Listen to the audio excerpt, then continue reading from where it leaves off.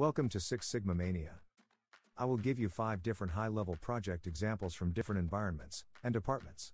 Take these examples as a brief overview of how Six Sigma Black Belt project can look like. Examples are from different environments machining production, supply chain, production planning, maintenance, engineering. And what would be this list without full time black belt project example, right? So, sixth example will be full time black belt project. Six Sigma black belt projects, generally said, are a little bit more complex. It does not mean that person must be fully assigned to project role as a full time black belt.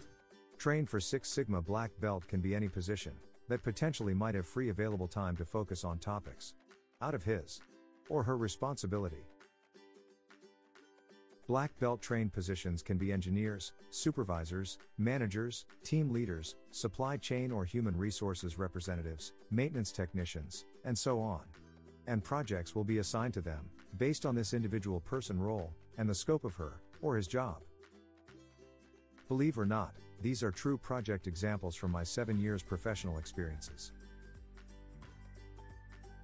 Production example Too many toolings in machine stock warehouse. Goal of this project was to optimize tooling inventory from current 100,000 USD in value to whatever optimum will be. Current state challenge was that consumption and quantity delivered is not under control. There were three tooling cabinets in the project scope. Team recounted tooling to define its value and came to around 100k USD number.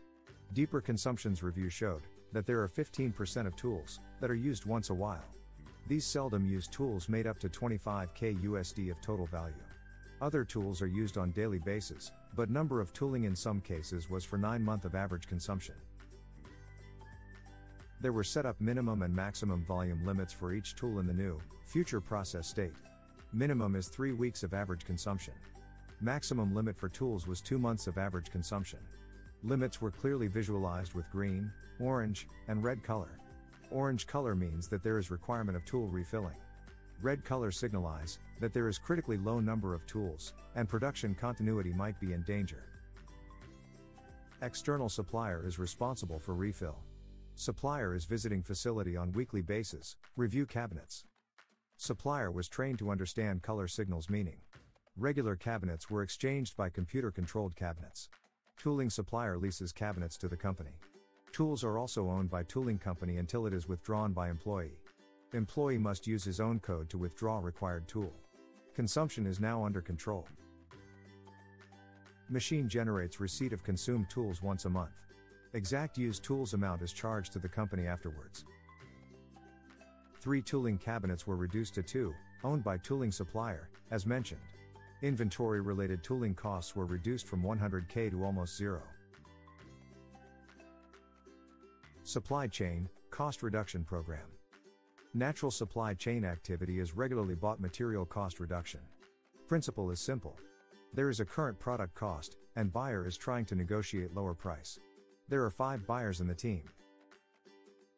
Goal of this project was cost savings approach unification, and minimal 10% of cost saving per five different types of products, each buyer is responsible for. This will be direct cost reduction, affecting company spends. There is not exactly defined process that every team member could be following. Senior buyer, as a project leader, called kickoff meeting. Supply chain manager explained goal and targeted due date of the project. Team map today's situation, each buyer follows. There were found deviations between approach and results each buyer has. Ideal process was put together.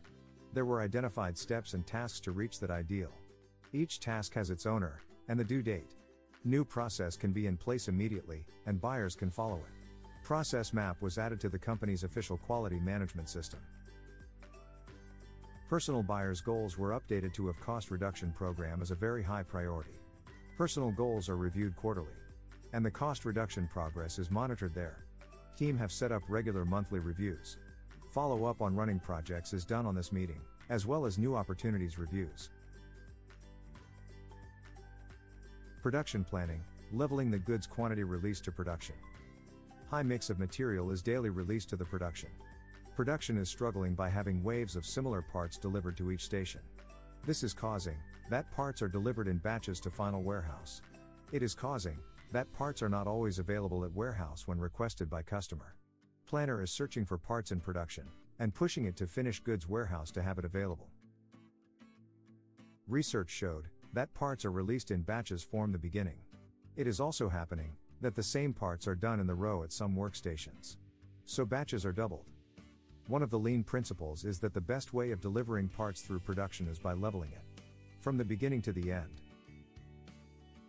Team have counted average amount of each part that is consumed by customers every day. That means that have to be released to production, done by each workstation, and delivered to the warehouse. This number was multiplied by average discrepancy rate. Production schedulers started to release parts as calculated. Each workstation team was trained to run just specific number of parts every day. It took some time, but parts started to be delivered to the warehouse every day. Maintenance, Machines downtimes improvement, top 3 machines.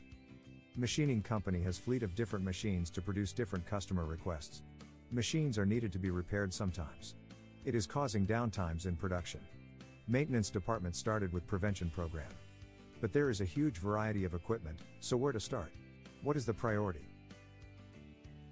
Goal of this project is to predict and to prevent downtimes on all fleet of the machines. Maintenance team started with data collection on interventions. Data are so great, that team have decided to continue monitoring also in the future. Pareto distribution was created from data collected in last 3 months. This project was divided to multiple generations. Top 3 machine downtimes are addressed in the Gen 1, next 3 in the Gen 2, and so on. Preventive maintenance protocol was reviewed and updated for each machine in cooperation with its supplier. TPM spreadsheets were created for daily, weekly, and monthly reviews. Daily and weekly maintenance, called TPM Level 1, is a machine operation responsibility. Machines are cleaned and checked on easily accessible things, like hoses visual control, dials parameters control. Machine smooth run is controlled here too. Monthly maintenance, called TPM Level 2, is maintenance responsibility. It is a special electrical, hydraulic, and pneumatic control check. Part of the project was to review spare parts list. It is for quicker exchanges in the case of downtimes. Contracts with machine suppliers were reviewed too, to have earlier interventions, in the case of urgency. Each project generation took about six months to accomplish. There were identified three other project groups that can work in parallel on machines improvements after finalizing the pilot project.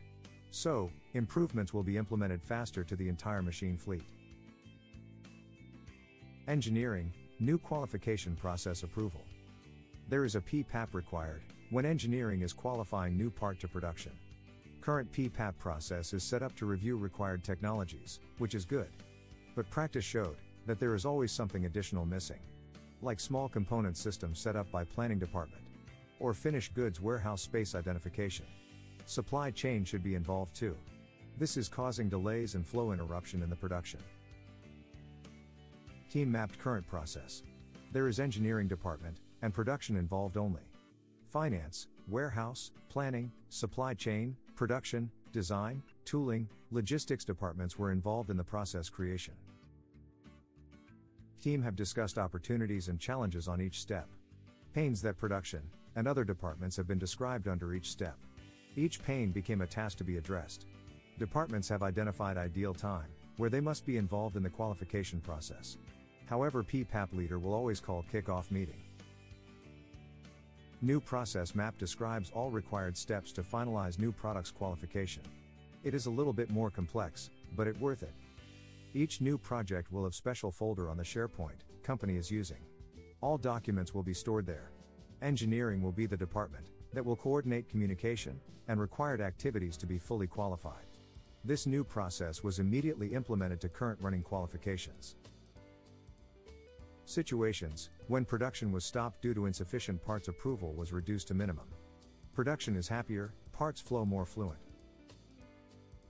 Full-time Black Belt project, back to lean. Organization where our Six Sigma Black Belt works is 50 years in the business. Lean culture was incorporated to the structure in 1990s. People were trained in Lean Six Sigma regularly, multiple projects were led by different departments, continuous improvement efforts were daily job.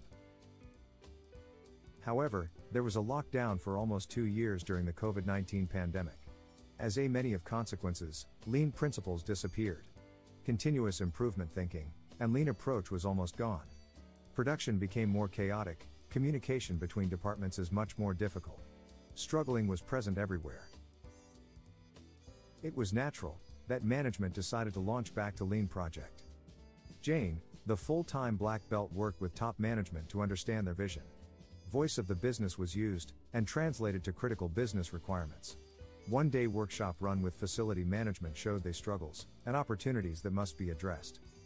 Jane has created list of activities that should be run based on the feedback from top and local management. Leaders of all departments were involved in addressing these challenges. Each activity was deeply discussed with the team. Solution and way of addressing particular challenge was described. Owner and due date identified. There were many subprojects required to be run. Timeline was set up based on task difficulty to each subproject. Main project goal Back to Lean became an umbrella project, covering all subprojects. Black Belt leads some projects, but she was involved in all projects as a team member. Jane helped coordinate all activities within subprojects. There were quick wins identified. Like new hires, that joined company during COVID, training on Six Sigma Yellow Belt and CI board.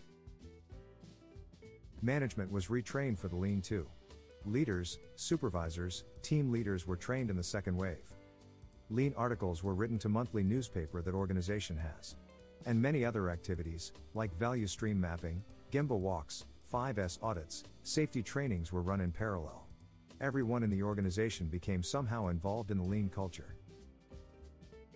It took about six months to accomplish majority of the tasks. And changes were obvious. Communication have improved, production flow is smoother, continuous ideas raised up by 80%. Company embedded lean culture once again. And this was my last black belt example. I am here for you. Do not hesitate to contact me and set up consultations. I can help you with lean management organization and culture, Six Sigma trainings and certification, directing in green belt and black belt projects, from theory to practice project management, personal growth strategy planning. First 30 minutes of consultations is for free. Take a look under the video, where you find a link to my blog, to download many Lean Six Sigma templates for free. If you find this video helpful, give us a like, and do not forget to subscribe. Have a great days.